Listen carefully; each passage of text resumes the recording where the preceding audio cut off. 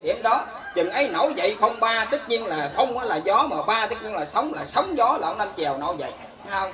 Có con nghiệp thú nuốt mà không đó là ông năm chèo. Đến chừng thú ấy một tuần là đức thầy có nghĩa là thu phục ông năm chèo. Ba giờ mới biết người khùng là ai, tất nhiên mới biết là đức thầy là ai. Còn bây giờ đó là đức thầy chưa cho biết là ngài có nghĩa là một quỷ nào.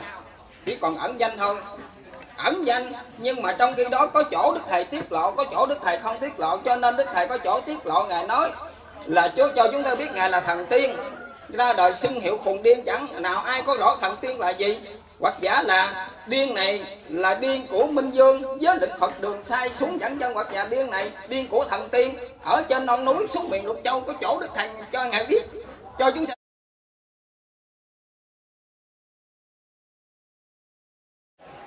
thưa cô bác, anh chị em với đồng đạo, bây giờ đồng đạo hỏi con sông nước chảy dòng cầu, ngày sau có việc thảm sầu thiết tha, chừng ấy nổi dậy phong ba có con nghiệp thú lúc mà người hung rồi đồng đạo hỏi chứ con sông nước chảy dòng cầu là ở đâu? Thưa cô bác, anh chị em với đồng đạo, rồi ngày sau có việc thảm sầu thiết tha là ngày sau là ngày nào? Mà chừng nào mới tới? Rồi chừng ấy nổi dậy phong ba, mà chừng nào mới nổi phong ba đấy có con nghiệp thú nước mà người hung thưa cô bác, anh chị em với đồng đạo thôi về nói cho nó mau đi. Con sông nước chảy dòng cầu là chỉ ngay chỗ, cái chợ bún tất nhiên là cái chợ Nguyễn Hội Đông, cũng gọi là cái bún dầm nao thì quý vị mình biết được cái bún dầm nao đó là con sông tiền ở chợ nó chảy xuống, tất nhiên là ở trên hồng ngự. Còn ở bên đây tất nhiên là châu đốc nó chảy xuống. Nhưng mà thay vì châu đốc nó chảy xuống, nó chảy thẳng xuống luôn, coi như là hậu giang đi mà không nó chạy bọc qua, cái cồn coi như là hòa hảo, rồi nó bọc qua bên sông tiền. Nếu như mà không ảnh của máy bay mà nó chụp xuống đó, thì rõ ràng coi như là tại chỗ cù lao kết tại chỗ dạm nao đó, là một cái dòng cầu của coi như là cái con sông nước chảy. Thay vì chảy thì chảy thẳng xuống nhưng mà không chảy kiểu đó, mà chảy dòng. Nên gọi là con sông nước chảy dòng cầu, đó là tại cái bún dòng nao. Nhưng mà ở đây là đồng đạo hỏi cho ngày sau đến việc thảm sầu thiết tha vậy là ngày sau là cái ngày nào với cô bác anh chị em với đồng đạo thưa chú quý vị, ngày sau đến việc ở đây là đức thầy nói là cái chừng đó. Cái ngày sau, nhưng mà ở đây là không có quyết chắc là cái ngày giờ nào. Nhưng mà ông ba cũng cho chúng ta biết đó, cô bác anh chị em với đồng đạo ông ba nói là một cù lao sụp trước làm đầu. Cái mã long ứng ngữ nó ra chầu quan thiên. Mã long là con sâu. Không? Nó ứng ngữ ra chầu quan thiên là một cù lao sụp trước làm đầu. Vậy gì? Vì vậy cho nên bây giờ hiện giờ cái cù lao mà thuộc về cù lao ông trưởng đó, thì bây giờ ở dưới đó coi như nó đang nằm ở dưới đó, cô bác anh em chứ đồng đạo ông năm chèo đang nằm ở dưới á. Rồi lâu ngày, lâu tháng, lâu năm, từ cái ngày mà một nghìn tám trăm à, một nghìn tám trăm năm mươi à, năm mươi ba, thì giai đoạn đó là cái ông đình tây, ông nuôi. Rồi sau khi đó là ông năm chèo đó ông mới xuất ra rồi ông đi mất luôn. Đi mất luôn coi như ông đình tay, ông đến nói cho nó mau đi. Ông đến ba lần để mà bắt. Mà mỗi khi ông mang những cái bữa bố lại đó thì trong khi đó ông kêu lên đó thì trong khi ông đình tay, ông đình tay kêu lên đó thì con số thận lặn xuống vậy hả? mà đến cái lần cuối cùng coi như là ở trên tại trên dầm láng ông cũng nổi lên vậy. Người ta biết cái ý mỗi lần mà cái con số thần đó mà nó lên để nó phá làng phá xóm bắt heo bắt gà bắt vịt gì đó thì trong khi đó kêu, như người ta nói người ta giới thiệu, nếu ông đình tây đầu bắt đầu, ông năm chèo ông lặn xuống về. Nhưng mà lần cuối cùng rồi đó, thì ông năm chèo cũng như là nổi lên cũng vậy phá y như vậy. Người ta mới kêu lên, kêu ông đình tây, ông đình tây đến chỗ nhà láng cô bác anh chị em chỉ đồng đạo. Trong thời gian vậy là suốt cả ngày như vậy đó, thì bây giờ đó, ông định tây, ông mới ước lên trên thanh không, ông kêu là bớ số hằng nếu như ngươi chịu đựng trời thì ngươi mau đến đây để cho ta bắt, còn bằng không từ đây trở về sau ngươi hãy im lặng, đừng nổi lên phá hại làng minh chúng nữa. Thì ông đứng đó ông đợi suốt luôn như vậy, coi như là cả hai ba ngày. Nhưng mà sáu thần vẫn lặng luôn, cô bác anh chị em với đồng đạo. Ở đây không có thời gian kể lịch sử hết nha. Nhưng mà chúng tôi chỉ kể đồng đạo đi hỏi thôi. Vậy thì bây giờ ông lặng đó ở đâu? Thì bây giờ đồng đạo hỏi cái địa điểm, vị trí nó ở đâu là vị trí ở tại chỗ có bún dầm nao, chỗ cù lao ông trưởng đó là sau này là cù lao ông trưởng như manh điện bờ tất nhiên là sau này sụp hết, sụp tiêu. Rồi ông năm chèo bắt đầu là nổi lên. Thì bây giờ từ cái ngày lặng đó đó sau khi đó ông định tây ông mãn cái nhiệm vụ. Rồi tất nhiên là nào là là là lưỡi câu, nào là lưỡi mung, coi như là nào là nhỡ dây, coi như là để mà bắt, coi như là, hay là cây lao này kia đó. Còn thờ ở trên coi như là ở chỗ có một ông đình tây đó, cô bác anh chị em với đồng đạo. Nhiệm vụ của ông đình tây đã qua rồi, nhưng mà sau này đó chứ quý vị mình biết là nhiệm vụ của thầy nhiệm vụ của thầy sau này bắt coi như là có con sóc thần đó. Cô bác anh em với đồng đạo. Vì vậy cho nên đức thầy nói là chừng ấy nổi dậy phong ba có con nghiệp thú nuốt mà người không đến chừng thú ấy phục tùng bá gia mới biết người khùng là ai đó là thầy. Sau này trở về coi như là bắt năm chèo. Cho như là của ông úc đó là quỳnh văn quốc đó nghe cho biết đó, là trong thời gian 7 ngày như vậy thì bây giờ ông ông sát hại coi như là những người hung ác không biết bao nhiêu mà kể. Rồi bây giờ coi như là tất cả các nước lân bang 18 nước, nói chung lại là tất cả các nước đem thần công đại bác coi như là hạt nhân hay là khinh khí hay là nhiệt thạch dội xuống, càng dội nhiều chừng nào, ông năm chèo càng mạnh nhiều chừng ấy máy bay bay trên thỉnh không, ông chỉ cần ngước lên bắt đầu, ông xịt khấu bắt đầu là máy bay đó. Xuống còn những cái lỗi coi như là chất hóa học thảy xuống, bao nhiêu là mất hết, tại vì thần không phép thực ông năm chèo thần thông pháp thực rất là cao. Cho nên bây giờ đâu có ai đâu mà phá hại được. Vì vậy, cho nên tất cả các nước tìm một vị cứu tinh, tất nhiên là một quỷ nào để mà thu phục năm chèo. Mới đặt bàn hương án. Không? Đặt bàn hương án. Rồi mới cầu trời khẩn phật. Sau khi đó bắt đầu cầu trời thẩm phật xong, bắt đầu đức thầy xuất hiện. Cô bác anh chị em chỉ đồng đạo. Đức thầy xuất hiện đức thầy đến trong khi đó mới nói thôi, giờ đừng có phá hại, coi như là dân chúng nữa, đừng có ăn, đừng có ăn, đừng có bắt người ta nữa. Rồi trong đó đức thầy mới thu phục lâm chèo gom gọn lại, tất nhiên là khi đó là trở thành con long mã. Con long mã tất nhiên là hình á, là hình con rồng, mà đầu á, là đầu của con ngựa cho nên gọi là con long mã. Rồi sau khi đó đức thầy đó mới chèo lên con long mã chạy khắp mặt đất. Ba vòng cho bao nhiêu người được biết coi như là ông năm chèo coi như là được đức thầy thu phục. Xong. Tất cả các người đều thu phục hết rồi. Đều được cảm phục hết rồi. Cái đó đức thầy coi như là mới chạy thêm một vòng nữa. Cởi ông năm chèo, tất nhiên là con lông mã. Mấy coi như là chạy trên mặt nước. Chạy thêm một quận nữa. Thì bây giờ tất cả các coi như là nước bây giờ trong khi đó thấy coi như là quá chừng, coi như là cảm phục rồi. Quá chẳng sợ như vậy chưa đâu. Thấy không? Rồi đức thầy cởi con lông mã bay trên không gian. Bây giờ không chạy trên mặt nước nữa, mà chạy trên không gian. Chạy một vòng nữa, bây giờ tất cả các nước năm châu đều thấy lúc đó coi như là mới phục vì vậy cho nên qua câu này đức thầy nói khùng mới nói chơi. Chư ban hàng phục không? Tất cả các nước đều phục tùng của bác anh em với đồng đạo vì vậy cho nên qua câu này đồng đạo hỏi đến chừng thú ấy, phục tùng bá gia mới biết người khùng là ai. Tất nhiên là đến chừng đó đức thầy thu phục thu phục năm chèo. Rồi bây giờ đức thầy mới cho chúng ta biết, chừng đó mới biết coi như là người khùng là ai, chứ bây giờ coi như là đức thầy ra đời để xưng hiệu khùng điên không à. Mà ai có rõ thần tiên là gì? Không biết đức thầy là thần tiên, mà cứ chê bài hoài với cô bác anh chị em chứ đồng đạo. Nhưng sau này đó, đức thầy cho chúng ta biết, chừng nào tôi được. Hết khùng. Là giai đoạn này đức thầy đâu còn khùng nữa không tám? Là bắt năm chèo đâu còn khùng nữa. Bá gia mới biết người khùng là ai. Không? Chừng nào tôi được hết khùng thì là dân sự còn dùng làm chi? Bây giờ không còn dùng nữa, tất nhiên không còn tu được nữa. Tu ngay trong lúc này. Còn đến chừng đó là ông năm chèo rồi ông nổi vậy rồi, lúc đó rồi chúng ta tu sao kịp cô bác anh em với đồng đạo? Tu đâu có kịp, thấy không? Thưa cô bác anh em với đồng đạo, đức thầy còn giới thiệu nhiều chỗ. Đức thầy là thu phục năm chèo nữa nè. Đức thầy nói là đức thầy nói là thâu cho được con long ác nghiệp. Thấy không? Thì khắp nơi mới biết mến yêu. Tất nhiên là thâu cho được con long ác nghiệp, tất nhiên là ông năm chèo đến chừng đó đức thầy thu phục cô bác anh em cho đằng đạo. Khi đó ông út quỳnh văn bác hỏi đức thầy, nói dạ đức thầy, sau khi đức thầy thâu phục ông năm chèo xong rồi đức thầy về ở luôn hay gì? Đức thầy nói, không. Tôi về chỉ nhiệm vụ là thâu phục năm chèo xong rồi tôi đi. Thấy không? Tại vì bây giờ thấy coi như là con năm chèo mà ở đây là sát phát phạt là chúng sanh vô số quá nhiều đi, cho nên một lòng tôi phải đi. Phải về coi như là bắt ổng, thu phục ổng. Mà sao thu phục xong rồi là nhiệm vụ của tôi, nhưng khi đó là tôi đi. Rồi ông út quốc mới hỏi dạ thưa thầy thầy đi vậy đức thầy còn trở lại không? Đức thầy nói, tôi còn trở lại. Tôi còn trở lại như nhiệm vụ tôi là một tay táo quốc an bang, nước nhà vững đặt hớn đàn hiển vinh hay là tôi về lập rồi cái hậu long qua đặng câu hiện đức được là bao nhiêu? Gian tà, hồn sát, cũng tiêu, thảm thương ba tánh chính chiều buộc đằng. Vì vậy cho nên bây giờ là sau này nhiệm vụ của đức thầy là có rất nhiều nhiệm vụ lớn lao, không phải là thu phục năm chèo không đâu nha.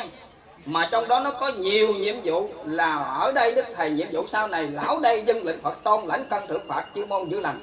Không? còn nhiệm vụ đức thầy là trên đài cao gọi các linh hồn nó có nhiều nhiệm vụ nhưng mà ở đây không có thời gian để kể cùng với quý vị. Nhưng đồng đạo mới hỏi qua cái ý này vậy thôi, bây giờ để trở lại là tại vì chương trình nghi vấn. Là con sông nước chảy dòng cầu, ngày sau có dịp hãm sầu thiết tha. Con sông nước chảy dòng cầu là địa điểm tại chỗ, là chợ bún, là chợ mỹ hội đông, là chỗ là chợ dàm nao đó cô bác anh chị em với đồng đạo. Ngày sau có dịp hãm sầu thiết tha là ngay cái địa điểm đó. Chừng ấy nổi dậy không ba tất nhiên là không là gió mà ba tất nhiên là sóng là sóng gió là ông năm chèo nổi dậy. Không? Có con nghiệp thú nuốt mà hôm đó là ông năm chèo. Đến chừng thú ấy một tuần là đức thầy có nghĩa là thu phục ông năm chèo. Ba giờ mới biết người khùng là ai tất nhiên mới biết là đức thầy là ai.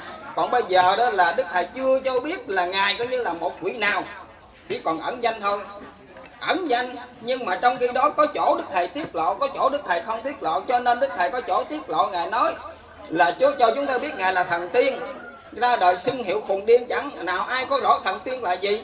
Hoặc giả là điên này là điên của minh dương với lịch phật đường sai xuống dẫn dân. Hoặc giả điên này điên của thần tiên ở trên non núi xuống miền lục châu có chỗ đức thầy cho ngài biết cho chúng sanh biết ngài là thần tiên. Nhưng mà có chỗ ngài coi như là không cho à, biết coi như là là là ngài coi như là như thế nào hết. Nhưng mà sau khi đó đức thầy mới cho chúng ta biết là chừng sau đến hậu đồng mây đến hậu đồng mây đó là cái ngày để trở lại đó thì người đời mới biết điên này là ai lúc đó mới biết coi như là đức thầy là ai bây giờ chưa biết cô bác anh em chưa lần đầu vậy thì bây giờ con sông nước chảy dòng cầu, ngày sau có việc thảm sầu thiết, hai chừng ấy nổi dậy, phong ba có con nghiệp thú nuốt mà không đến chừng thú ấy phục tùng bá gia mới biết người khùng là ai, mới biết đức thầy coi như là một vị nào, để mà ra đời để mà cứu tế nhân sanh. Vậy thì bây giờ qua bốn câu này chúng tôi trình bày cũng gọn gọn với ý chính vậy thôi nha chứ còn thật sự ra chương trình này đó nếu mà có dịp quý vị mà đi núi tại chỗ mộ đình tây đó, chúng tôi sẽ tình tiết kể hết. Kể hết qua coi như là tiền thân cúng năm chèo là ai. Rồi coi như là đã mấy đời, mấy kiếp và chuyển coi như là từ bên ấn độ sang qua bên trung hoa, qua bên việt nam và cuối cùng rồi là bây giờ sau khi đó là nó sẽ coi như là chịu coi như là đức thầy thu phục nó và nó trở về nó vị trí để mà tu luôn cô bác anh chị em với đồng đạo thôi thì chúng tôi trình bày đến đây cũng xin tạm phép và xin trả lại cho vấn chủ và ý kiến của toàn thể chư quý vị. Nếu có điều chi bằng thêm thì bàn không có xin phép cho thông qua. Nam mô bổn sư thích ca mâu ni phật nam mô a di đà phật. Nam mô A Di Đà Phật. À, kính thưa chư quý vị đồng đạo, ờ, yêu cầu chư quý vị cho phép chúng tôi lên đây. À, trước khi à, đặt à, bốn câu hỏi. Và bốn câu giảng đó như thế này là một chánh mạng chúng sanh ơi hỡi cho hồn linh cai quản châu thân lấy chân nhân dẹp tánh phàm trần mới có thể mong về cực lạc thì bốn câu giảng này sư, sư thật cùng uh, chư đồng đạo và đồng đạo tư phương tôi đã thuộc lào biết bao nhiêu năm nay rồi nhưng mà nghĩa lý nếu mà nói ra rồi thì không thể nào hiểu hết cái nghĩa lý được đây nhờ đồng đạo tư phương trình bày cho tôi rút ra mấy cái ý để hỏi. Cái thứ nhất là cho hồn linh cai quản châu thân vậy là mình phải hành như thế nào để cái gọi là đúng theo lời của đức thầy nói là cho hồn linh cai quản châu thân và cái câu kế nữa là lấy chân nhân dẹp tánh phàm trần. Vậy là cái chân nhân là cái gì? Trong thân mình có. Và tánh phàm trần trong đó nó gồm có những phần nào mà chúng ta phải dẹp nó? Mới đạt được cái câu đức thầy nói vậy mới có thể mong về cực lạc. Ông cho dân chủ chào phá tay để cô bác anh em đi đồng nào và tiếp theo tiêu đề thứ hai mà được đồng đạo nêu lên là trong một chánh mạng. Và trong một chánh mạng đó, đồng đạo chỉ nêu lên nhân dần thưa chư quý vị, trong bát chánh đạo của đức thầy, có hai chỗ mà đức thầy nói qua dân dần một là trong quyển tư, hai là trong bài dặn dò bổn đạo.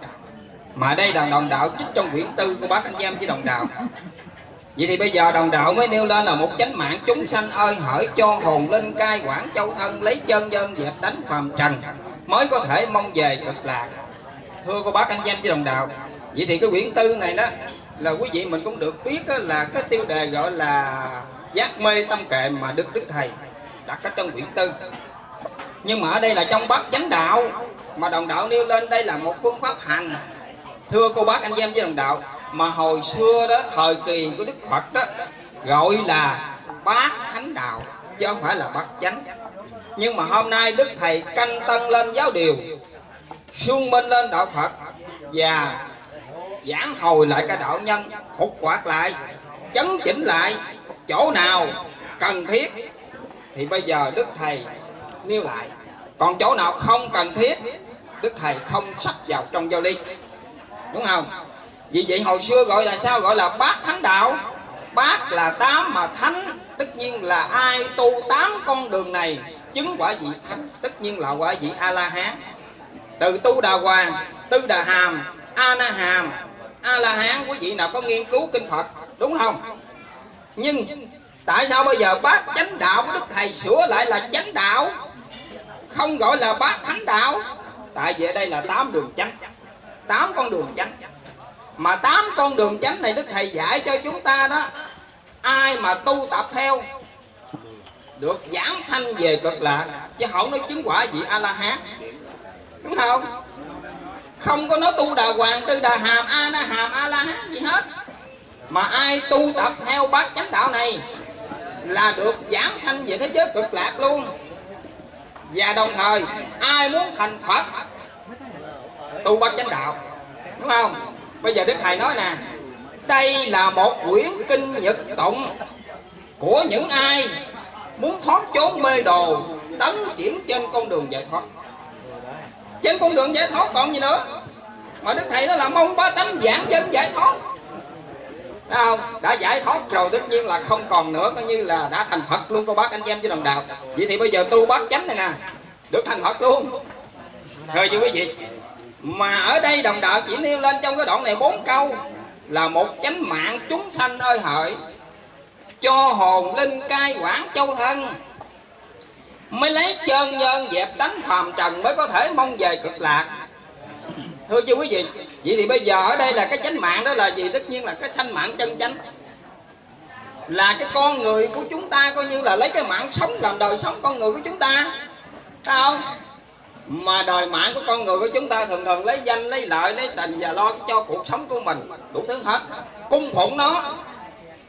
Mắt ư xem sắc đẹp, tai ư nghe tiếng hai, mũi ư ngửi hương thơm, lưỡi ư đồ ngon béo thân ư sự sung sướng ý ư chức phận cao là mình cung phụng cho nó bằng lục căn nhiễm và lục trần nhưng, ở đây đức thầy cho chúng ta biết bây giờ cái người tu của chúng ta là phải lấy, là lấy chánh mạng, lấy cái linh hồn của chúng ta để mà cai quản châu thân châu thân đây không phải là cái thân báo nghe đồng đạo học ba hồng? Mà đồng đạo có nhiều khi trình bày nữa là châu thân, châu đó là báo, thân tất nhiên là thân báo. Lấy cái linh hồn để mà cai quản cái thân báo. Cái thân báo mà cai quản cái gì? Cai quản là cai quản như là cái thân này nè. Giống như bây giờ cái con trâu đi, mà nó không phá, không thấy nó con trâu tốt rồi, quý vị mình còn có sổ mũi nữa không? Có không? Không bao giờ sổ mũi nữa mà sở dĩ sổ mũi con trâu đó là tại vì cái con trâu này coi như là hai phá quan người ta. Không ăn lúa người ta. Cho nên ở đây coi như là lấy hồn linh cai quản châu thân, là lấy cái linh hồn của mình. Linh hồn của mình cai quản châu thân. Châu đây là, ở đây là cái thân dắt dòng của chúng ta. Tất nhiên là từ nhãn, nhĩ tỷ thiệt, thân và ý là trong căn thân của chúng ta coi như là có sáu cái điều này. Châu là giáp dòng, từ mắt tai, mũi, lưỡi, thân. Ý, đó là châu thân đó. Chứ không phải châu thân là thân báo. Lấy cái hồn linh của mình để cai quản cái thân cái thân của chúng ta. Bây giờ một đoạn khác, đức thầy cho còn tào hảo này, cô bác anh em với đồng đạo là chúng ta sẽ thấy rằng đức thầy chỉ cho chúng ta cái linh hồn cai quản cho thân đây. Đức thầy mới cho còn tào hảo nó là trong sát thân. Không? Giám thị lục căn giám thị tất nhiên là ở đây là xem xét đâu đó rõ ràng. Đừng cho chúng tính lăng hoàng. Ngoài thì chấp thủ mà ngăn lục trần. Rõ ràng tất nhiên là cai quản cho thân. Như vậy là lấy cái hồn linh cai quản cho thân là trong thời gian chúng ta còn tu tập, nên gọi là linh hồn. Linh hồn? Ai cũng có linh hồn phải không? Nhưng mà sau khi cái linh hồn này chúng ta đã chứng đạo rồi, không còn dùng cái linh hồn nữa, mà gọi là phật tánh phải không? Cho nên đức lục tổ huệ năng ngài nói đó là là hội giả xưng vị phật tánh. Bất hội giả mới quán bác linh hồn. Có nghĩa là chúng ta đã chứng đắc được rồi là phật tánh, chứ không còn gọi là linh hồn. Trong thời gian còn tu tập, nên gọi là linh hồn. Chính vì linh hồn á, cho nên bây giờ phải cai quản trong thân, phải giữ gìn nó mới được. Thấy không? Giữ gìn nó. Mắt xem sắc tướng cũng như không ta lắm, âm thanh cũng chẳng động lòng. Mũi ngửi hương thơm như chẳng có lưỡi lừa mỹ vị. Thể là không thân trừ vật dục năm năm. Ý việc tham cầu tánh sạch trong. Có nghĩa là chúng ta phải quản lý nó như vậy đó. Như vậy gọi là cho hồn lên cai quản cho thân rồi đồng đạo mới hỏi qua cái ý sau đó là lấy chân nhân, dẹp tánh phàm trần. Mà chân nhân đó là sao cô bác anh chị em với đồng đạo? Chân nhân là một cái danh từ để chỉ cho cái như là phật tánh của chúng ta. Chân nhân hay là chủ nhân ông, hay bản lai diện một, hay là phật tánh đều coi như là một danh từ xưng là chỉ cho coi như là cái tâm phật của chúng ta, gọi là lấy chân nhân. Phải không? Mà lấy chân nhân đó là sao? Ví dụ như bây giờ chúng ta coi như là đối hoàn cảnh bên trận bên ngoài. Bây giờ chúng ta hãy quán xét lại, quán xét lại. Khi đó bây giờ cái tánh chân của chúng ta bắt đầu nó phát xuất ra, nó hiện ra, thấy không? Tâm chân mới là tâm chân phật, chứ phật đó là cái tánh chân nhân. Tâm vọng là tâm cát ma dương tâm chân thì tâm đến cái, đến cảnh tây phương, còn tâm vọng lạc đường địa ngục. Tâm chân dẫu không ba chẳng đột, còn tâm vọng vừa mới lắc nổi bùng. Thật tâm chân là sáng sủa vô cùng, chùm vạn vật nhưng không một vật. Thấy không? Như vậy mới gọi là cái, lấy cái chân nhân, là cái tâm sáng suốt, cái tâm trí tuệ của chúng ta. Để mà coi như là quản lý, đó là lấy chân nhân để dẹp tánh phạm trần. Mà giờ cái tánh phạm trần mình cái tánh gì để cô bác anh em với đồng đạo thôi, nói cho nó mau luôn đi. Cái tánh phạm trần á ai cũng có tánh phàm trần trần phải không? Thôi bây giờ cái tánh phàm trần phàm là trần tục, mà trần là bụi bặm. Là ở trong trần tục này chúng ta bị dướng những bụi bặm, nên gọi là phàm trần. Mà phàm là gì? Phàm đó là thánh, là thanh. Sự thế không có ham, còn phàm là phạm việc phàm hay muốn, phải không? Nó muốn đủ thứ ở trên hết muốn này đến lượt muốn kia. Mồ hôi nước mắt đầm đìa thế mà chết chất nhỏ kia chứ vừa cho nên cái muốn là cái tâm ham muốn của con người của chúng ta đó là sự ham muốn lưu truyền như dưỡng có nghĩa là muốn đủ thứ hết. Danh có được, sắc tài liền bắt tài được, rồi danh sắc nó theo. Sắc có thì danh lợi nó đeo, danh tài sắc ba điều dính liếu dưới một cái cả ba cái, nếu ngã bên nào cũng chịu khổ sầu, vượt ra ngoài có mấy, ai đâu rơi vào đó biết bao nhiêu kẻ có vợ chính. Muốn thêm hậu lẽ, đây là cái tâm hàm đây. Thấy không? Có vợ chính rồi, muốn thêm hậu lẽ, được tình nhân, muốn vẽ thêm viên nữa thấy lòng người không phút nào yên sự tham muốn lưu chuyện như dưỡng tánh phàm trần là tánh đó, lấy chân nhân dẹp, tánh phàm trần dẹp đi. À không? Thì mới có thể mong về cực lạc. Là cái tánh phàm trần mình, cái tánh đó đó. Ham muốn hoài cô bác anh chị em với đồng đạo. Ham muốn nhưng là đủ kiểu, đủ cách hết trơn trọng nhưng mà cuối cùng rồi, thì cũng nhắm mắt, cũng nắm hai tay. Đâu đem tiền của, đem rài hầu non. Chỉ có tội phước thôi, còn đến nơi thẩm pháp, cửa son chim đại mà chúng ta vẫn biết đời là giả vậy, nhưng mà chúng ta cũng vẫn còn ham muốn của bác trên chị với đồng đạo vậy thì bây giờ ở đây qua đoạn này, lấy chân nhân, dẹp tánh phạm trần, mới có thể mong về cực lạc.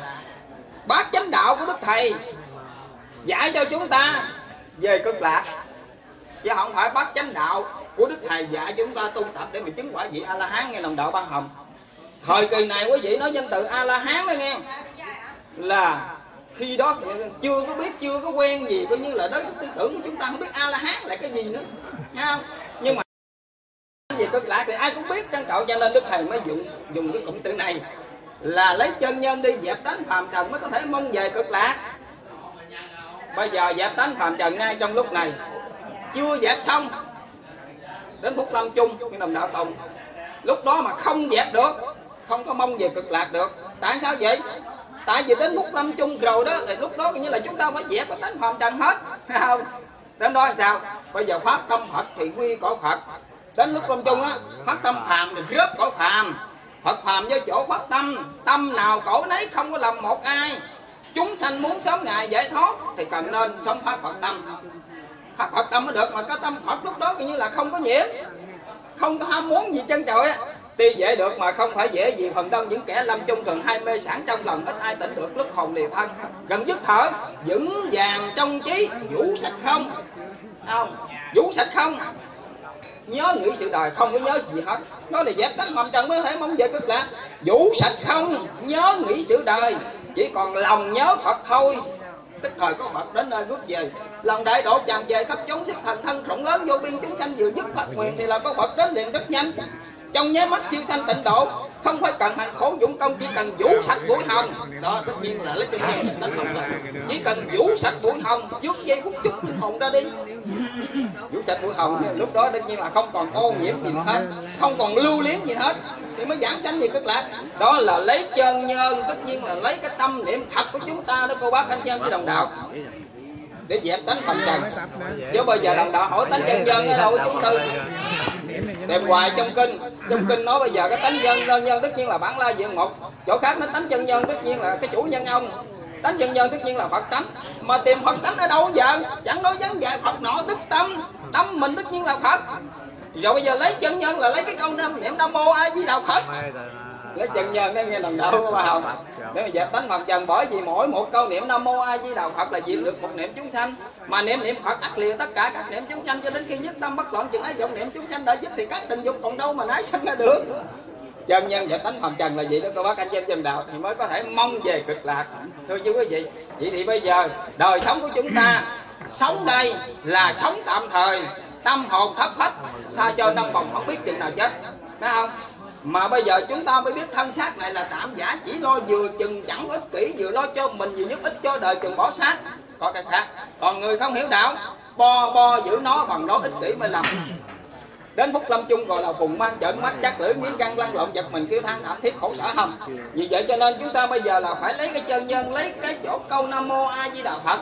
Để dẹp tánh phàm trần thì chúng ta mới có thể để mà được giảng sanh về cực lạc đến phút lâm chung của bác anh chị em chỉ làm đạp. Vậy thì, để kết thúc lại, chúng ta nhận được cõi đời này là tạm giả, là không thật, là cõi mộng mà chúng ta nhất quyết tu hành, để chúng ta lấy chân nhân để dẹp cái tánh phạm trần, để chúng ta ráng lo tu tập. Để cũng như là tương lai và đến phúc lâm chung, chúng ta có điều kiện để mà được quả sanh cho bác anh chị em trên đạo đó là tìm sống thật, cho an hồn sát, sống mộng chi, cho nát thân tâm, phải can đảm, nhận đời lòng quyết bình tĩnh dậy kiếm tầm đường tu. Đạo mới giải, được câu đời tạm, đời còn nằm trong phạm vi mê hỏi mê, thành khổ nhiều bề, mà điều chi cũng chẳng hề được lâu. Thân đã giả vật nào phải thật, người luống công giành giật xéo má. Hơi tàn mỗi vật đều tàn. Dù cho vật ấy đồng nàng thêm yêu và đến đây cũng xin hết đề tài này. Nó muốn xin cảm ơn ni phật. Nam mô À, để tiếp theo à, chương trình à, tôi xin đọc lên bốn câu mà đồng đạo à, đã ghi. Là sát trần để lại làng hòa lời thăm bốn phía ngọc tà ta lui âm dương cách trở xa xôi à, nhắn cùng ba tánh chớ ngồi tất lòng. Ý đồng đạo hỏi là sát trần để lại làm quà mà để lúc nào và có ai biết không? Gọi lời thăm bốn phía ngọc tòa ta lui vậy ngọc tòa là ở đâu và âm dương cách trở xa xôi và âm dương như thế nào? Nhờ cho tư phương à, giải dụm cho đồng đạo nghe chung à, thành thật biết ơn. Quý vị ủng hộ cho dân chủ bằng pháo tay đi cho bác anh chị em với đồng đạo và tiếp theo tiêu đề thứ ba mà được đồng đạo nêu lên trong bốn câu. Và trong bốn câu đó là sát trần để lại, là hòa lời thăm bốn tiếng ngọc tòa ta lui. Âm dương cách trở xa xôi nhắn cùng ba tánh chớ ngu tất lòng. Thưa cô bác, anh chị em chị đồng đạo. Vậy thì bây giờ qua bốn câu này, chúng tôi được biết là được trích từ trong cái bài từ giả bổn đạo khắp nơi. Và cái bài từ giả bổn đạo khắp nơi này, Đức Thầy viết ở tại Tổ Đình vào ngày mùng 1 tháng 4 năm Canh Thìn năm 1940 và có tất cả là 158 câu mà đồng đạo viết ra bốn câu cho chúng ta bằng. Bây giờ đồng đạo hỏi là sát trần để lại làng hòa. Lời thăm bốn phía ngọc tòa ta lui. Rồi sát trần để lại làng hòa hồi nào mà có ai thấy không nha đồng đạo hỏi. Rồi tại sao bây giờ có sát đức thầy bây giờ có ở, ở tại làng hòa không? À có sát trần để lại làng hòa. Lời thăm bốn phía ngọc tòa ta lui. Là đức thầy chịu lĩnh về tây rồi chính vì đức thầy chịu lệnh về đây cho nên đức thầy mới viết cái bài từ giả bổn đạo khắp nơi. Gửi cho đức ông. Và bảo đức ông bây giờ nếu như sao trong đó là đồng đạo, tín đồ nó có tới đó, thì bây giờ ông lấy cái bài này ra để mà đưa cho đồng đạo. Lúc đó chưa có sưu tập nha cho biết coi như là đức thầy sẽ coi như là vắng mặt. Trong thời gian, mà trong thời gian đó là mấy ngày thôi, nói cho nó mau luôn đi thấy không? Trong thời gian từ ngày mùng 1 tháng 4 năm canh thìn cho đến là ngày mùng 10 tháng 4 năm canh thìn là đức thầy vắng ở tại tụ đình không có thuyết pháp không có viết giảng không có hút thuốc. Mà bây giờ cái xác đức thầy để đâu? Xác của đức thầy để ở bên đó, để bên coi như là là ở trước cửa tụ đình đó cô bác anh chị em với đồng đạo và đức thầy có nói với ông út là quỳnh văn quốc. Nói với ông út bây giờ là tôi tạm thời bây giờ cái thân của tôi nằm đây ông nhờ ông chăm sóc dùng cái thân xác của tôi. Lâu lâu á coi như là ông hái cái bông trăm ổi đó. Ở đây là theo là mấy chú thực lại nha. Bông trăm ổi đó rồi ông cắt cho cái thân của tôi. Chính cái điều này coi như là ông út quỳnh văn quốc ông có nhiệm vụ giữ cái xác đức thầy là để lại làng hoa. Rồi thỉnh thoảng con út coi như là bước đi đâu ra ngoài đường á mới gặp coi như là cái người bán hút sân đông của cô bác anh chăm em với đồng đạo. Nghe bắt đầu á, là cái anh thăm với cái anh gọn anh thăm á là anh bùi văn khâm á với cái anh gọn á, ông quỳnh văn gọn tất nhiên là con của là ông quỳnh văn quốc. Mới cãi cọ với nhau vụ cái người là bán thuốc đi. Cho nên lúc đó đó là đức à, ông quỳnh văn quốc mới ra coi như là tiền đất ơi. Người ta bán thuốc xem đông á thì có mua thì mua không mua thì thôi mấy thằng bay đi vô đi. Tại vì ông cha mà cái mấy người kia cãi bắt đầu nói thèn ơi người ta bán thuốc sinh đông mà hay ho cái gì đó mà mua. À, không? rồi trong khi đó là đức thầy còn nhắc lại đó cô bác anh em cho đồng đạo trong cái quyển nhất đó, sau khi đó là thấy cái chỗ trùng hợp cho nên bây giờ được coi như là quý chú mới kể lại. Mới kể lại nghe. Là lúc đó coi như là là kể lại trong cái đoạn đó là cái người bán thuốc chân đông uống thì pha nước lắm trong chứ đừng pha rượu nó hầm kỵ thai hai thằng ở sống bằng nay đó là anh đoạn chứ không khâm nó nói ngày đài thuốc chẳng có hai người cha, tất nhiên là ông quỳnh văn quốc á, đi lại thấy rầy. Thiệt mấy đứa này cãi cọ làm chi? Mới bước ra nhà nọ, một khi đi lên đi xuống kiếm thì xe lôi, gặp xe chẳng có lên ngồi chạy trước đi, rồi mình lại chỗ kia sớm này cái ghét rồi ưa ghé vào nhà nọ mới nhổ bừa cái răng nhổ rồi lui tới lan xăng liền bước xuống thiền mà thầy tới thả trâu. Thấy không dạ dạ tới như vậy thì rõ ràng cái chỗ này coi như là có thật sự, coi như là ông quỳnh văn quốc có kể lại là cái thác xác của đức thầy để ở tại tổ đình là từ ngày mùng 1 tháng 4 năm canh thìn cho đến ngày mùng 10 tháng 4 năm canh thìn, quý vị mình và trong giáo lý đi. Trong khoảng thời gian đó không, đức thầy không có viết cái bài nào hết. Cho đến ngày mùng 10 tháng 4 đó là đức thầy viết cái bài tạm ngưng lý thuyết. Nha kế cái bài mà diệu pháp quang minh là viết ngày vào ngày mùng 10 tháng 4 còn cái trong cái khoảng đó là không có viết bài nào, cũng không có thuyết giảng mà cũng không có hút hút độ đời. Mà tại sao bây giờ đức thầy phải coi như là vắng mặt trong thời gian này để lại làm quà? Thưa cô bác, anh chị em dân đạo tại vì bây giờ đức thầy chịu lệnh. Một là chịu lệnh ờ, một là chịu lệnh của đức ngọc đế. Hai là chịu lệnh của đức phật. Thích ca mâu ni. Ba là chịu lệnh của của coi như là đức phật a di đà rồi bây giờ cái đức thầy chịu lệnh đức thầy nó bắt tâu về chứ sao? Thấy không? Như vậy bây giờ coi như là sau khi đó đến nên là trong thời gian giảng dần 6 tháng, vậy thì xem sao. Tất nhiên là trong thời gian 6 tháng rồi sáu chân thì tới nhẹ vào quyết lòng truyền bá đạo màu mà thôi. Trong thời gian giảng gì rồi, trong thời gian giảng gì bắt đầu trong thời gian 6 tháng đó, đức thầy mới trở về tâu đức phật a di đà tâu đức phật a di đà khi mà đức phật tâu a di đà đó nghe làm đạo ba lịch, đức thầy mới nói coi như là lê dân quan ngạnh xóm làng cừ khẩu đúng không? Trong cái bài giảng dò bốn đạo đó, lê dân thì quan ngạnh sớm làng thì cừ khâu đầu đuôi tâu lại khúc nôi một trăm mới được ấu thâu mười người di đà nghe tấu buồn so đó, thấy không? Di đà nghe tấu buồn so một trăm mới được. Giảng dân bác đánh đắn đo nhiều bề. Làm sao cửa phật giữa cày hung sùng tàn ác khó bề giải khuyên thấy không? Vì thì bây giờ nó trở lại coi như là trong khi đó là đức thầy về tâu lại đức phật a di đà, mà đức phật a di đà ở đâu? Ở tây phương. Đúng không? Ở tây phương. Mà ở đây cái câu này trước, hai câu này đó là sao? Nay thầy chiếu lĩnh về tây là về bên tây phương. Sao? Tâu lại đức phật a di đà. Tạm ngưng đạo đức ít ngày này qua là trong thời gian ít ngày, đó là chín ngày đó. Đức thầy trở lại. Rồi đức thầy trở về đâu nữa. Đức thầy là dân lĩnh đức học đế. Thấy không? Dân lĩnh đức học đế. Thì đức thầy mới trở về cái đến mà tâu với đức học đế. Chỗ nào? Cũng trong bài từ giá bổn đạo khắp nơi. Đức thầy nói bây giờ trở về tâu học đế đây. Đức thầy mới nói là tới đây từ biệt khắp cùng. Thấy không? Thầy lìa khỏi xác, thiên cung phản hầu đúng không, ba lật? Thầy lìa khỏi xác, thiên cung phản hầu là chân chết chứ đâu. Là ngày chết bắt đầu dân lệnh của đức ngọc đế chết xuống trận. Ngọc hoàng ban chiếu lão cùng giáo dân thì về trên tâu với ông chứ sao giờ, phải không? Thưa các bác, anh chị em với đồng đạo. Rồi, bây giờ coi như là chẳng những vậy mà giờ ngài coi về tâu đâu nữa. Về coi như là tâu với đức phật đức cao mâu ni. Tại vì dân lệnh của đức phật đức cao mâu ni là tiền phong quá dân sanh phụ hạ hay là ta thường dân sắc lĩnh thế tôn, khắp hạ giới truyền khai đạo pháp, dân lĩnh của đức phật thích ca mâu ni. Bây giờ phải trở về trở về với đâu đức phật thích ca mâu ni. Mà đức phật thích ca mâu ni ở đâu? Ở ngọc tòa, thấy không? Ở ngọc tòa. Mà ngọc tòa đó là sao? Đức thầy nói là tạm đây ta mắt lui hài. Tạm đây ta mắt lui hài gì trên bể ngọc chịu dài hồi quý. Bể ngọc có trên chịu đức thầy trở về không đành tách gót ra đi, nên dùng lời lẽ từ thì bá gia của bác anh chị em với đồng đạo. Trở về đó, để mà tâu lại đức thật ca mâu ni của bác anh chị em với đồng đạo, ta vì dân xác lệnh ngọc tòa đền linh cứu sân chung chịu mạng. Thưa cô bác anh chị em với đồng đạo, vậy thì bây giờ ở đây coi như là trong thời gian 9 ngày, đức thầy giảng dân 6 tháng, đức thầy trở về tâu lại đức phật a di đà, tâu lại đức phật thích ca mâu ni tâu lại đức ngọc đế là nhiệm vụ tôi làm như vậy vậy đó cô bác anh em đi đồng đạo. Rồi sau trong thời gian đến cái ngày mùng 10 tháng 4 đức thầy trở lại để mà tiếp tục, coi như là để là dùng cái phương tiện là ba phương tiện tam độ nhất như là tiếp tục tới nữa cô bác anh em với đồng đạo. Vậy thì, qua câu này, sát trần để lại làng hòa là rõ ràng trong một chuyện đồng đạo, coi như là hỏi. Để lại có ai thấy không? Ở đây là chính coi như là một ông quốc quỳnh dân quốc thầy và nhiệm vụ của quỳnh dân có xác của đức thầy. Không? và có rất nhiều như là tín đồ cao đồ. Lúc đó biết. Rồi là thăm bốn phía ngọc tòa ta lưu là đức thầy trở về ngọc tòa đây.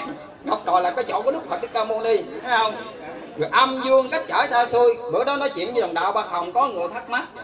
Nó âm dương cách trở xa xôi, âm ở đâu, mà dương ở đâu? Mà dương đây tất nhiên là trong khi đó là đức thầy coi như là cách trở âm dương như vậy là đức thầy mất rồi có chỗ đồng đạo nó nói vậy là đức thầy không còn nữa. Ta về âm cảnh rồi. Ta thường thường ta nói mấy người chết thì đi về âm cảnh. Không ta về âm cảnh thiết tha tâm trạng là về, về âm là mất rồi. Nhưng ở đây âm dương dương tất nhiên là mặt trời. Dương tất nhiên là chúng ta đang sống trên cái thế hệ này tất nhiên là dưới ánh mặt trời gọi là dương rồi bây giờ ở đây là âm dương cách trở xa xôi, tất nhiên là về cái cảnh giới coi như là không có mặt trời, tất nhiên là cảnh âm. Mà cảnh âm đây tất nhiên là cái cảnh không phải là có mặt trời sâu nổi, là cái cảnh khuất mặt, là cái con mắt hàm vu của mình, con mắt nhục nhãn của mình. Không bao giờ thấy. Vì vậy cho nên hôm nay đức thầy mới nói qua câu này là âm dương cách trở xa xưa là đức thầy về cảnh phật. Về cảnh phật là cảnh âm, cảnh không có mặt trời cho bác cảnh âm chứ ông đạo. Không có sâu rọi nào nằm ở trong cái thế gian này nữa. Đó là cách trở xa xưa thôi không? Nhưng mà cách trở xa xưa là tùy thuận theo chúng sanh mà nói qua danh từ xa xưa thôi, chứ đức thầy không có xa. Đức thầy nói là thiên đường lộ ấy nào xa? Không có xa. Tại mình thấy xa thôi, chứ ngài đi qua đi lại là không có xa. Cho nên vòng lai đi lại có ngôi tây phương cực lạc cùng ngồi tòa sen đi qua đi lại, đối với phật không có xa. Nhưng mà đây qua tùy thuận theo danh từ của chúng sanh mà nói là âm dương, cách trở xa xôi. Thấy không? Nhắn cùng ba tấm chớ ngu tắc lòng. Tôi có bác anh em chứ đồng đạo vậy thì bây giờ qua bốn câu này, qua nội dung như trên chúng tôi trình bày cùng với quý vị là nội dung chính nghe đồng đạo ba lực bây giờ cho chúng tôi trình bày là là là thêm sức quá ngôn ngữ, thêm cái phụ chút nghe cô bác, anh em với đồng đạo. Thêm cái phụ chút xíu nữa, tất nhiên là bây giờ ở đây là sát trần để lại làng hòa là quý vị mình biết, ai lên tổ đình cũng được biết, coi như là cái thân xác của đức thầy bây giờ còn. Bây giờ trong khi đó đó, là đồng đạo nói bây giờ coi như là đức thầy đã vắng mặt rồi. Nhưng mà, quý vị mình biết đức thầy cho chúng ta biết đức thầy trở lại. Nay thầy chịu lệnh về tây không tạm ngưng đạo đức ít ngày, thầy qua hoặc giả là đức thầy nói đó, nhắn cùng bổn đạo gần xa, ta về âm cảnh thiết tha tâm tràng. Chúng tôi có chứng minh cùng với quý vị rồi. Nhưng sau này, đức thầy sẽ hứa chúng ta trở lại. Hứa chúng ta coi như là đức thầy nhắn mặt trong thời gian rồi đức thầy sẽ trở lại. Ra đi dặn lại ít lời cho trong bổn đạo dạy thời ráng nghe, giàu ai tài phép bài khoe, ham linh tham nghiệm, sợ e mang nghèo, lựa cho phải cột, phải kèo, phải dai, phải dế, mà theo kẻo lầm. Sợ đây đức thầy trong thời gian xa vắng mình rồi, bắt đầu mình chạy theo chạy theo chỗ này, chạy theo chỗ kia, cô bác, anh em chỉ đồng đạo. Vì vậy cho nên đức thầy mới nhắn cho chúng ta đó là ít ngày thầy qua. Tất nhiên là trong khi đó đức thầy trở lại chứ thầy không có, không phải thầy đi luôn đâu. Rồi, trong người tín đồ phật giáo hòa hảo của chúng ta khi vắng thầy, ngày 25 tháng 2 nhuần năm đinh hợi cho đến nay có rất nhiều người quan niệm rằng, thầy sao mà lâu quá không trở lại? Nỗi thương nam nữ trẻ già trong thầy lâu quá sinh ra nản lòng bàn ông thiên dắt thương nồng. Cửu quyền bàn phật càng trong lạnh lùng để cho meo đóng đầy chung lương hương lũng xét bàn chồng nửa nghiêng bỏ tu à, không. Bỏ tu rồi trong khi đó là không có chịu tu hành nữa mà đức thầy hứa với chúng ta, tất nhiên là sau này đức thầy sẽ trở lại với chúng ta mà. Đâu phải là mất đâu, ít ngày thầy qua. Thầy trở lại.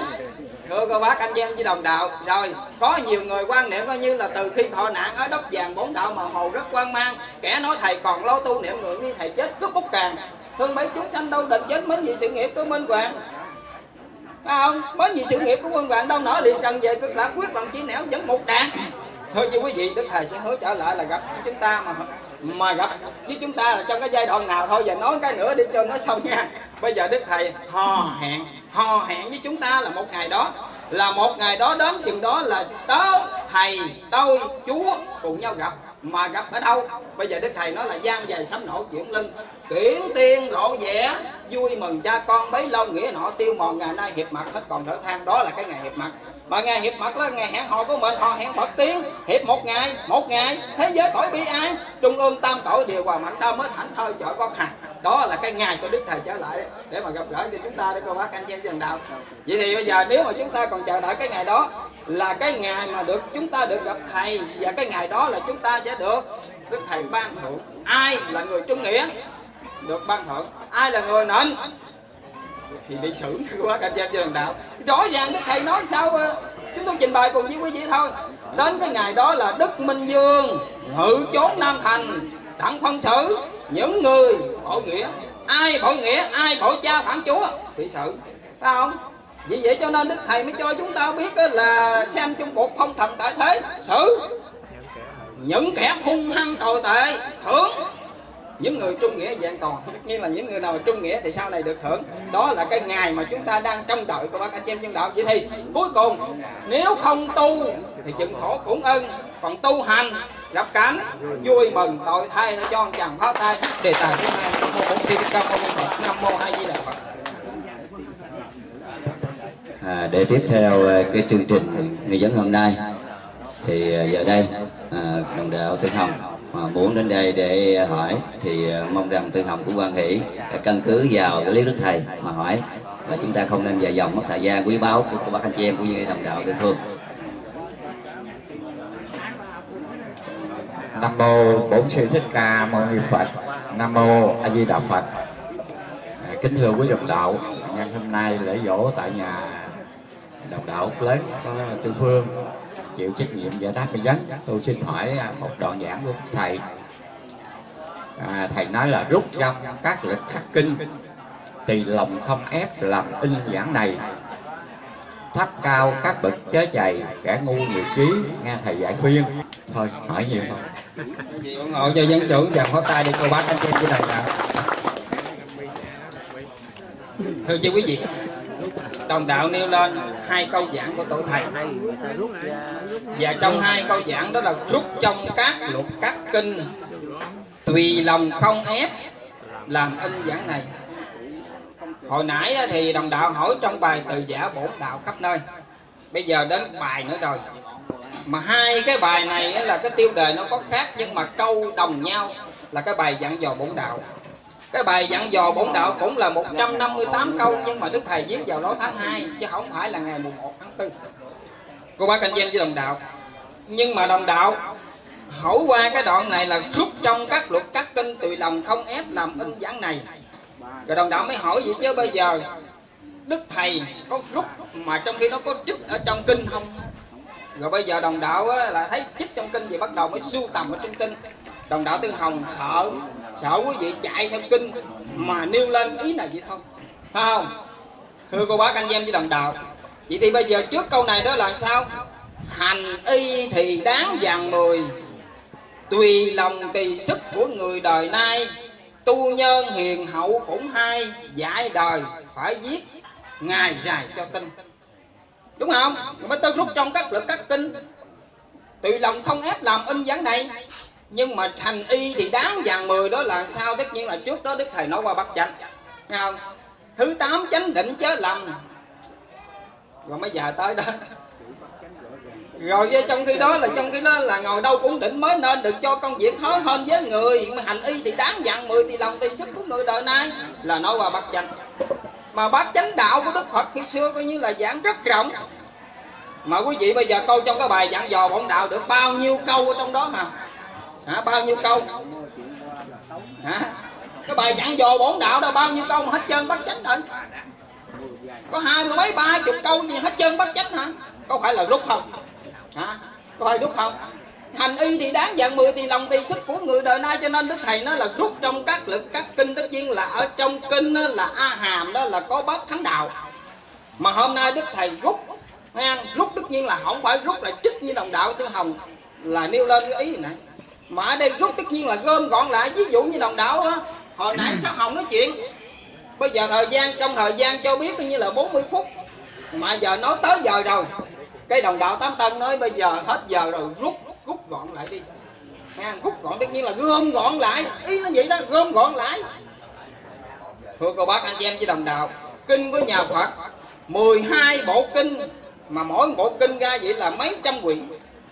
Nhà của đồng đạo út lớn nè không có hơi nào chất kế nhà bên đây chất cũng chưa hết kinh của nhà phật đó mà bây giờ cái cuốn toàn bộ sống thi giáo lý trên dưới 500 trang mà trong đây nó có hàm đủ. Nghe? hàm đủ. Hết trơn đó là rút chứ gì nữa? Rút là gom gọn lại gom gọn lại. Mà trong đó nó có luật có kinh có đủ hết. À, cho nên là cái kinh là luật ở trong giới của nhà phật á là sao? Ở trong đó coi như là ngũ giới nè rồi bát quan trai giới nè rồi 250 giới của tụ của túc chúng giới nè. Rồi là giới của hàng bồ tát là 10 giới trọng 48 giới khinh nè. Nguyên cái cuốn coi như là tỳ ni á. Cô bác anh em với đồng đạo gọi là cái tạng luật. Thế mà, đức thầy gom gọn lại 8 điều răn cấm. Có phải là rút không? Gom gọn lại không? Gom gọi lại 8 điều răng cấm mà trong đó nó có hàm xúc hết trơn trọng đó rồi bút trong các lịch các kinh rút gì đó. Thưa cô bác anh em với đồng đạo mà bây giờ, ở đây, tùy lòng không ép làm in giảng này. Qua câu sau, tùy lòng không ép là không có ép uổng tất cả các chúng sinh. Làm in giảng này tất nhiên là làm y gì mà bây giờ tùy theo nhân viên tùy theo nhân viên mà chúng sanh chúng ta coi như là thấy giáo lý đức thầy quá chừng thâm sâu, quá chừng màu nhiệm, thì chúng ta coi như là cố gắng để mà hành. Thấy không? Còn ngược lại thì nếu như mà ai mà không có nhân duyên với thầy nó bây giờ thôi giờ ở bên kinh nhà phật ở bên á sâu xa lắm. Giờ nghiên cứu kinh bát nhã kinh kim cang đó là kinh đó, là là diệu pháp liên qua gì đó thì dân dân đó là tùy nhân duyên của quý vị nghe tùy nhân duyên. Nhưng mà ở đây chúng ta coi như là may mắn đại hạnh hy hữu. Chúng ta gặp được giáo lý đức thầy ra đời. Xưa nay không có mấy khi dương trần có phật, chỉ thì xuống đây. Cho nên hôm nay chúng ta coi như là được may mắn gặp được giáo lý đức thầy. Đức thầy để lại cho như là một bộ kinh đó là cuốn toàn bộ sống thiền dần đi thưa chưa quý vị, vậy thì bây giờ cái tiêu đề này, đồng đạo tư hồng hỏi, ý, chúng tôi trình bày qua cái ý gì thôi để cho nó gọn gọn như thế, còn những cái đề tài khác. Vậy thì bây giờ qua câu này trong bài dặn dò bổn đạo để thầy mới rút gom gọn lại là rút trong các lực các kinh. Đồ đồng đạo có nhiều người phân dân. Nói giờ là trong giáo lý của nhà phật, có ba tạng kinh, luật, luận. Mà tại sao đức thầy lại rút kinh rút lực mà không có chịu rút luận là sao? Luận ở đâu mà không có chịu rút như vậy là tam tàng giáo điển còn thiếu. Đúng không? Đồng đạo phân dân cái chỗ này nó tam tàng giáo điển là cái kinh luận còn thiếu. Thưa cô bác anh em với đồng đạo, kinh là kim khẩu của đức phật thiết ra, luật là chính coi như là đệ tử phạm giới đức thầy mới, đức ờ, phật thích ca mâu ni ngài mới là xuất lực Thấy không còn luận thì tất cả các vị đệ tử luận tất cả các vị đệ tử luận mà luận bây giờ là đã tất cả các vị đệ tử là đã luận đây rồi bây giờ đức thầy còn rút để làm gì nữa? Phải không đâu con rút phải không nhưng đức thầy chỉ rút kinh thôi. Rút lực thôi là gom gọn kinh gom gọn lực để mà coi như là chúng sanh dễ hiểu dễ tầm thôi còn luận thì bây giờ cái lẫn coi như là tất cả các vị là, là chư tăng tất cả các vị như là thiền sư người ta lẫn vậy. Bây giờ đức thầy chẳng lẽ nhiều khúc của à, khúc của mấy ông thiền sư để lại làm gì? Không. Các bác anh em chứ đồng đạo thì có gõ gàng ý đó. Vậy thì bây giờ qua hai câu này chúng tôi trình bày đến đây á, là cũng xin tạm khép và xin trả lại ý kiến của toàn thể quý cô bác anh em với đồng đạo và chư quý vị và dân chủ. Nếu chưa có thỏa mãn thì lát nữa như là trao đổi thêm. Và đến đây chúng tôi cũng xin tạm khép và xin chấm dứt đề tài này. Nó mô bổn sư đức ca mâu ni phật. Nam mô a di đà phật.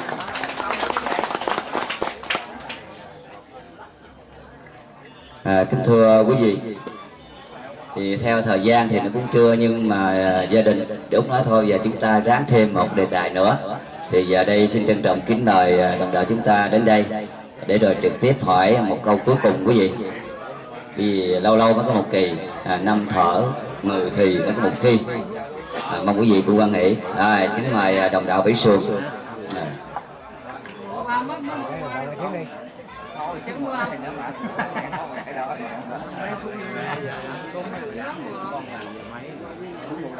Dạ chúng tôi à, đọc qua mà không hiểu. Nhờ ông à, giảng viên giải dùm bốn câu.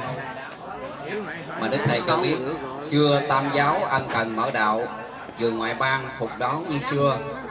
Phật tiên vận chuyển lọc lừa chúng sanh dáng nhớ búa vua hội này. Mà xưa tam giáo ân cần mở đạo mà mở đạo như thế nào? Ở trường ngoại bang ra sao?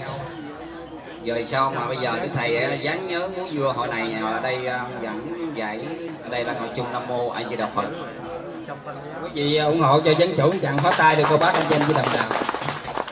Ở đây đồng đạo nêu lên bốn câu, mà cái đề tài này cũng là đề tài cuối cùng, được ban tổ chức, ban xứng ngôn cho biết. Vậy thì bây giờ đồng đạo nói là xưa tam giáo ân cần mở đạo, trường ngoại bang cuộc đáo như xưa, phật tiên vận chuyển lọc lừa chúng sanh gắn nhớ mối dư hội này. Thưa cô bác, anh chị em đồng đạo như đồng đạo đọc chặt rồi. Ở đây là trong tam giáo, chứ không phải là xưa. Trong tam giáo, ân cần mở đạo, có trường ngoại bang phục đáo như xưa. Phật tiên vẫn diễn lọc lừa, chúng sanh gắn nhớ mối vua hậu này. Rồi bây giờ đồng đạo đi lên hỏi là là trong cái chỗ là trong tam giáo ân cần mở đạo, mà mở đạo cách sao? Mà trường ngoại bang phục đáo như xưa là cái trường ngoại bang là cái trường nào mà phục đáo như xưa? Thưa cô bác anh chị em với đồng đạo. Vậy thì bây giờ ở đây qua bốn câu này chúng tôi được biết đó được đồng đạo trích từ trong cái bài thiên lý ca. Và cái bài thiên lý ca này đức thầy viết á, vào lối tháng 7 năm 1939 đức thầy viết ở tại tủ đình. Và có tất cả là 312 câu mà đồng đạo trích ra bốn câu cho chúng ta bàn đúng không?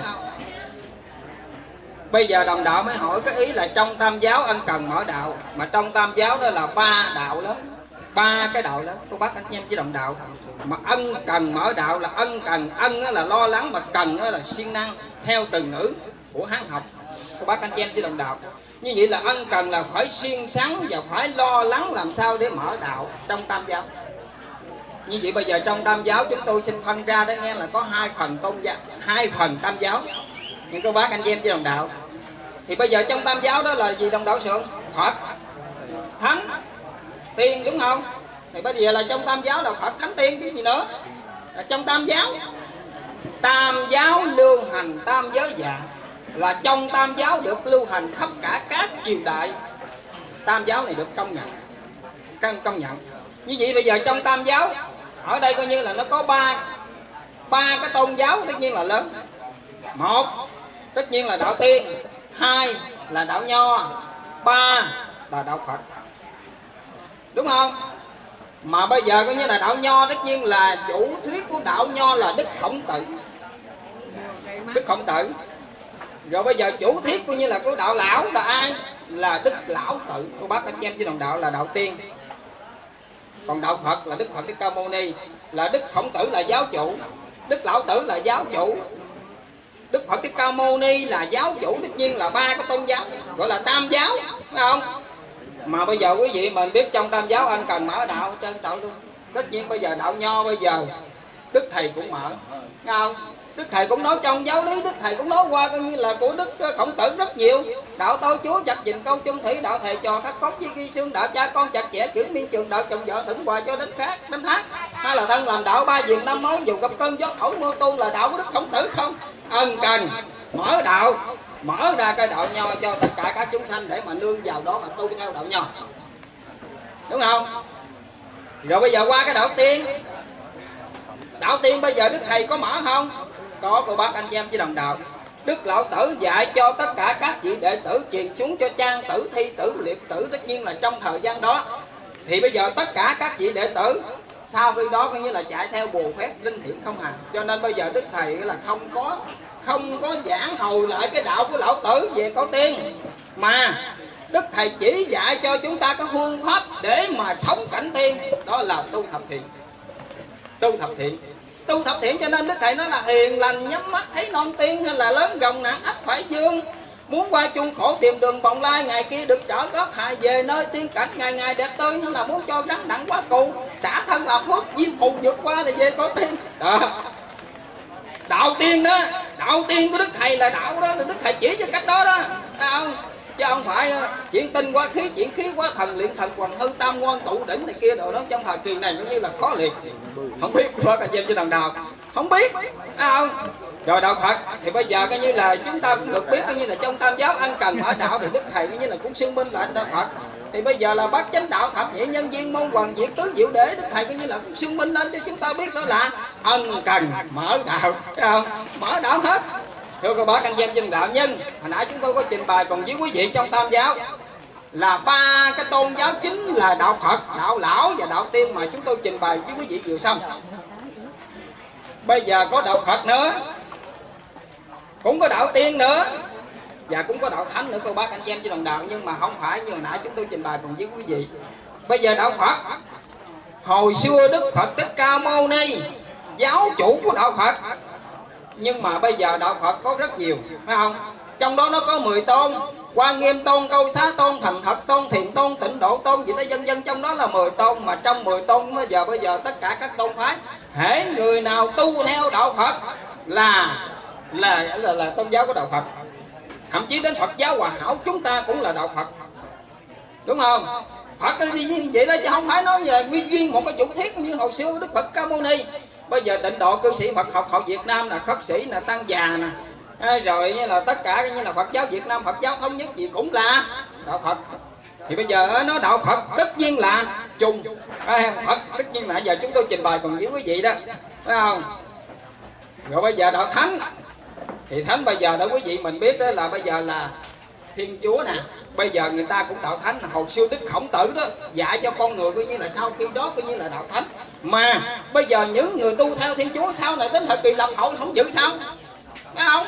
Có mặt hết có mặt hết vì vậy cho nên đạo thiên chúa tất nhiên là cũng là thánh chứ không phải đức khổng tử không có bác anh chị em đồng đạo. Tiên nãy trình bày cùng với quý vị phải không? Đạo tiên tất nhiên là hồi xưa có đức đạo tử nghe nhưng mà sau này coi như là trong khi đó đạo tiên còn gọi là đạo cao đài nữa cô bác anh chị em chỉ đồng đạo cũng là đạo tiên. Tại vì là là, là, là giáo chủ của đạo cao đài tất nhiên là trong khi đó là là là tiên ông phải không? Lý thái bạch tiên ông à, như vậy thì bây giờ ở đây coi như là phật tất nhiên là những người tu theo đạo phật chứ không nói coi như là riêng một cái tông phái nào. À, thánh tất nhiên bây giờ còn kim lương coi như là cái đạo thiên chúa. Tiên tất nhiên là trong à, đó coi như là có đạo cao đài và những người coi như là hành thiện xã hội cũng là theo đạo tiên hết. Tôi qua canh danh trong đạo. Vậy thì ở đây đạo thiên chúa đạo cao đài đạo phật và tất cả các đạo nào giờ cũng ân cần mở đạo chân phổ rộng ra hết để cho người ta tu thiện tu thiện nha tôn giáo nào giờ cũng đang phổ biến hết cô bác anh em nhân đạo, làm tích cực cái từ thiện xã hội, phước đức và nhân viên gì đủ hết. Thưa như quý vị, vậy thì bây giờ ở đây qua câu này là trong tam giáo ân cần mở đạo, tất nhiên là trong ba cái giáo nãy giờ chúng tôi trình bày cùng với quý vị đó. Tất nhiên bây giờ giữa cái đạo phật, tất nhiên là tất cả các tông phái của đạo phật và đồng thời đạo thiên chúa, đạo cao đài và những những người tu theo đạo tiên và tất cả những phương pháp mà người ta tu để mà chúng ta sau này được hưởng trong thời kỳ mà thượng quan thánh đức đó, đều là đều là trong tam giáo hết. Nhưng qua đây đó, đồng đạo hỏi là trường ngoại bang phục đáo như xưa. Thưa cô bác anh em với đồng đạo một trường ngoại bang phục đáo như xưa đó là sao? Cái trường ngoại bang tất nhiên là ở bên ngoài. Quý vị mình biết bây giờ đức phật thích ca mâu ni có phải là ở nước việt nam không? Có không? Ngoại bang mà, tất nhiên là ấn độ rồi đức khổng tử ra đời ở đâu? Ở bên nước lộ bên trung quốc, phải không? Trung quốc, phải không? Thưa cô bác anh em nhân đạo, rồi bây giờ đức lão tử ở đâu? Cũng ở bên đó là tàu, bên trung quốc, bên cô bác, anh em với đồng đạo như vậy thì bây giờ đó là hồi xưa trong tam giáo, đạo phật, đạo lão, đạo khổng là ở bên bệnh mở đạo. Đức khổng tử cũng mở đạo, đức lão tử cũng mở đạo đạo phật cũng mở đạo, để mà dạy dỗ cho tất cả các chúng sanh đều biết được coi như là trong tam giáo để mà tu. Rất là thịnh hành, cô bác, anh em với đồng đạo nhất là trong thời kỳ của nhà châu. Không? Rồi, đức thầy cho chúng ta biết qua nhiều cái thời kỳ triều đại đó là có rất nhiều coi như là bị ảnh hưởng về vấn đề coi như là người ta không cho coi như là cái tôn giáo được mở mang. Nhưng trong tam giáo này được công nhận của nhà nước và công nhận của cộng đồng quốc tế, cho nên tam giáo này được lưu lưu truyền và được lưu hành khắp cả các nơi. Vì vậy cho nên bây giờ trong tam giáo này được mở mang của bác anh chị em trên đồng đạo. Thì đức thầy nói là trường ngoại bang phục đáo như xưa là cái trường ngoại bang sau này đó là phục đáo cũng giống như hồi xưa vậy. Giống như hồi xưa thời kỳ của nhà châu thời kỳ của nhà hán vậy cô bác anh chị em đồng đạo nghe không? À, vậy thì bây giờ sau này đức thầy cho chúng ta biết là tất cả các tôn giáo đó sau này trở về gom về một mối giống như như là thời kỳ hồi đó vậy đó. Gom về một mối có không? Thầy nói nè biết chừng nào được quy nhất thống khắp hoàn cầu. Dân biết thương nhau, nhắc ra thì dạ ngọc đớn đau không nhắc đến biết đâu dân sửa. Là sau đó là gom về một mối thiên địa từng vần gom một mối gom về có một mối một hàng là trường ngoại bang phục giáo như xưa sau này trở thành đạo phật hết. Đạo phật chứ, không? Ở đây là phục đáo như xưa. Gom về một mối ha phàm trần, thiên địa từng quần, gom một mối tất nhiên là trở về gom một mối hết chẳng những gom một món bây giờ tất cả các nước cũng gom về luôn. Làm sao đức thầy nói là khắp các nơi. Chư quốc là tất cả các nước xưng thần không? Trong bốn biển, chúng dân lạc nghiệp. Tất nhiên là trong bốn biển trở về có một món một. Là thời kỳ thượng quan chánh đức. Đâu còn nhiều đảo nữa. Cũng không còn nhiều như là diễn binh dương nữa. Mà còn một ông vua và một đảo thần đó là trường ngoại bang phục đáo như xưa mà thôi giờ qua vậy đi nghe. Gọn gọn như nghe. Đã hết giờ rồi. Bây giờ còn hai câu sau nữa là chỗ này mới quan trọng. Phật tiên dẫn chuyển lọc lừa. Chúng sanh gắn nhớ muốn vua hội này. Thưa cô bác, anh chị em chứ đồng đạo. Phải gì không? Phật tiên dẫn chuyển lọc lừa. Mà dẫn chuyển lọc lừa cách sao đó cô bác, anh chị em chứ đồng đạo? Lọc lừa. Mà bây giờ lọc lừa đó là lọc lừa thành phần nào vậy thà? Phải không? Thưa cô bác anh chị em chứ toàn đảo Thôi nói mau đi. Bây giờ lọc lừa, bây giờ là hiện tại đây lọc lừa. Sau này lọc lừa. Mưa tới rồi. Thưa chị quý vị, thôi nói cho nó mau tất nhiên là hiện tại đang lọc lừa. Đang lọc lừa. Là cái người nào mà hiền từ đức hạnh, có hiếu hạnh, thì được lọc lừa. Mưa ồn quá rồi, có sao không? Bây giờ tiếp tục luôn em thưa chị quý vị. mưa nói nữa bây giờ nè. Vàng nè. Thao nè. Đang lẫn lộn. Thiệt giả nè. Đang lẫn lộn nè. Người chung người định nè. Đang lẫn lộn nè. Mà không gặp lừa thì làm sao biết người nào chung người nào định đúng không? Cho nên bây giờ đức thầy mới cho chúng ta biết lọc lừa hiểu đặng vàng thao. Coi như là ai mà vàng ai là thao là lọc lừa ngay trong lúc này đọc bất tiên dẫn chiến lọc lừa mà Thưa cô bác anh em trên đồng đại chúng tôi trên đọc qua đoạn này đang nghe là chúng ta sẽ biết được cái sự lọc lừa của Đức Thầy đây. Kiên chinh mà chịu lúc nàng tay Dẫu có gian nan hạ chớ nàng Vàng đá bao phen cơn nước lửa Vì thao lắm chuyện lúc non hàng. Nếu ai là vàng, ai là đá Bao phen cơn nước lửa là nước lửa cỡ nào. Lọc lửa mà Vì thao lắm chuyện lúc non hài ai là chì ai là thao? Thì sao? Ngay trong lúc này là rất rất ngạc thất của bác anh em chỉ đồng đồng rồi đức thầy mới cho chúng ta biết khúc đoạn sau là bền gan chờ đợi ngài xứng hiệp. Gắn chí trong mong bữa thiệt khai thiên địa từng quần gom một con là lọc lừa ngay trong cái lúc này. Mà nếu như giai đoạn nào mà chúng ta không chịu đựng nổi những sự mà gian nan, khổ sở, khó khăn cực khổ. Để mà chúng ta tu tập, thì chúng ta coi như là phải báo đồn như thế của bác anh em với đồng đạo thưa chị quý vị, rồi, bây giờ như là nói cho nó mau vì thời gian nó cũng hết rồi. Bây giờ chúng tôi xin nói qua một cái đoạn khúc sau nữa nha. Để mà lọc lừa cái giai đoạn sau của cô bác anh em với đồng đạo cái lọc lừa giai đoạn này thì chưa có nói gì đi nghe. Chưa có thể tính hết. Mà quan trọng cái khúc sau của cô bác anh em với đồng đạo tất nhiên là đến cái ngày mà lập hậu. Chứ bây giờ coi như là vô trường học đó, thì bây giờ ai cũng học hết. Thì bây giờ đâu có giai đoạn lọc lừa. Mà tới chừng ngày nào mà coi như là đến cuối cùng rồi là thi đại học ra siêu thảm đó nha cô bác anh em với đồng đạo cái đó coi như là mới là quan trọng nghe không? Thôi thì bây giờ chúng tôi xin coi như là nói qua một đoạn này nữa cô bác anh em với đồng đạo là từ trong cái chỗ lọc lừa của đức thầy tức thầy coi như là giai đoạn đầu? Là sao? Lửa tiễn đúng không? Lửa tiễn lửa tiễn xong. Đến giai đoạn chọn lọc. Là giai đoạn đó là mới vô trong cái chỗ là lọc lừa này. Bây giờ đang lửa tiễn thì cô bác anh em với đồng đạo. Quý vị giờ đang vô đây hết đó là lửa tiễn hết rồi các chư phật từ đây lựa tiễn đây là phật tiên dẫn chuyển lọc lừa mà. Các chư phật từ đây lựa tiễn là ngay trong lúc này. Coi ai là đức hạnh hiền từ. Bây giờ ai có đức có hạnh có hiền từ là giác ngộ tu tập đang ngồi đây hết, đó là lựa hết rồi đó. Lựa hết rồi. Gần xa thầy chỉ đành rành, quyết tuyển ở đây là giai đoạn này tuyển nha. Quyết tuyển con lành để đem lại phật gia vô nhà đạo hết rồi. Phật gia là vô nhà đạo hết rồi mình giờ đang tu đây là được tuyển hết rồi. Nhưng mà giai đoạn này tuyển là chưa chưa chắc ăn. Không thật sự tôi nói quý vị đó là tuyển chưa chắc ăn. Cũng như bây giờ người ta đăng bản nó nói là tuyển tuyển chọn thì bây giờ trong khi đó là được coi như là người nào tuyển được vô được tuyển được vô được tuyển được vô phải không? Ở trên đó là trường coi như là học có thường thường ta cũng tuyển tuyển nhất đó. Ta để bản ta tuyển nữa dắt hết. Nhưng mà tuyển xong rồi bắt đầu ta mới lựa lọc lại. Lựa lọc lại. Chứ đâu phải người nào coi như là được tuyển mà vô, được tuyển mà vô, phải không?